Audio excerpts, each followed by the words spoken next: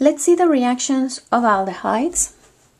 And we're going to start with a reaction that I need to remind you of, and it's that the aldehyde can still be oxidized to the carboxylic acid. So you need a chromium 6 reagent. Whenever you use chromium, you have it in sulfuric acid. And the aldehyde will get oxidized all the way up to the carboxylic acid. We learned this reaction in the last semester, but I need to actually remind you of it because the next couple of chapters are going to be about carboxylic acids. Now in this react in this chapter, we also learn how to reduce the carbon-oxygen double bond, and we need a hydride reagent for that. We have lithium aluminum hydride. Lithium aluminum hydride is a very strong reducing agent. When you use it, you use it in an ether solvent, so THF would be a good solvent for it. And it's a two-step process. After you finish with the lithium aluminum hydride, you need to quench the reaction and we use distilled water for that. And what we're going to do is that we're going to add hydrogen across the double bond. We discussed the mechanism of it during class, so go ahead and review it. But we go from an aldehyde to a primary alcohol. We could go ahead and use sodium borohydride.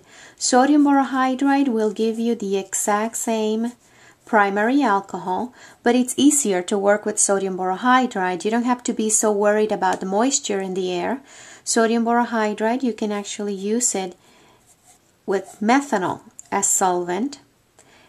It will reduce ketones and aldehydes and if you have an aldehyde, of course, you will go to the primary alcohol. The main difference between lithium aluminum hydride and sodium borohydride is that sodium borohydride can only reduce ketones and aldehydes. Lithium aluminum hydride can reduce carboxylic acids, esters, cyanides, a lot more range when you use lithium aluminum hydride. Another reaction that's important is organometallics. And we have Grignards, we also have organolithiums. Let's use methyl magnesium bromide. It's a Grignard. Whenever you see the magnesium salt, the correct name for it is a Grignard. And the carbon is a, a good nucleophile, so it will attack the carbonyl and it will form the alcohol. Let me just do it. This is the intermediate, the tetrahedral intermediate. We just added a methyl to it. And there's still a hydrogen there. And that would be the first step of the reaction. The tetrahedral intermediate doesn't have any good leaving groups. Carbons are not good leaving groups. And the, the hydrogen that it's there is not a good leaving group either. So when you quench the reaction, the hydrogen will pick up a proton from the water and that's how you end up with a secondary alcohol when you attack an aldehyde with a Grignard or an organolithium. Now I want to reserve this too for reactions with alcohols.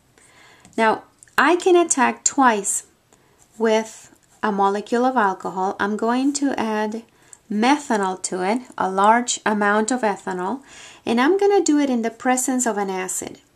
And we're going to use HCl gas for this.